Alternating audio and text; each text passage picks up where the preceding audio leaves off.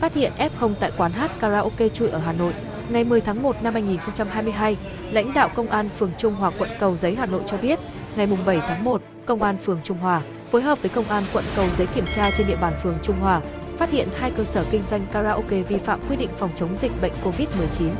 Theo đó, tại quán karaoke số 5 Trần Duy Hưng, lực lượng chức năng phát hiện hai phòng hát đang hoạt động trong đó có 43 người gồm 16 nhân viên và 27 khách, thu giữ tại chỗ 27 chai rượu các loại, 57 bình khí N20 và một túi bóng cao su, khí và bóng để bơm bóng cười.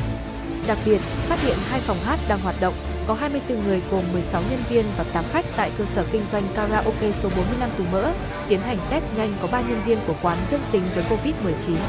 Tuy nhiên, sau khi test lại bằng PCR thì chỉ có một ca là F0. Hiện các lực lượng chức năng đã làm biên bản sự việc gửi Ủy ban Nhân dân phường ra các quyết định xử phạt với hai cơ sở trên, đồng thời thực hiện quy trình cách ly y tế với các trường hợp dương tính COVID-19 theo quy định.